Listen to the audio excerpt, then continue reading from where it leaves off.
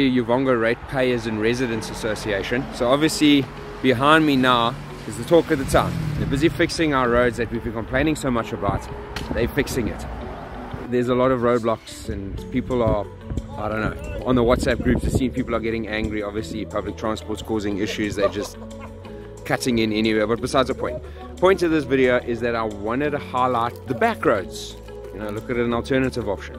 At the moment now, they're busy doing roadworks from St. Michael's Bridge down to Uvongo Bridge. So in this area here, on Marine Drive, between the two bridges here, is where they're doing the roadworks.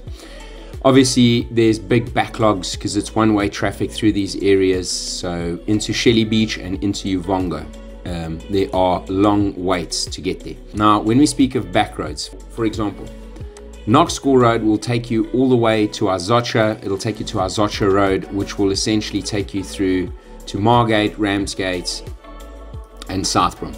That is what we here as the locals call the back road.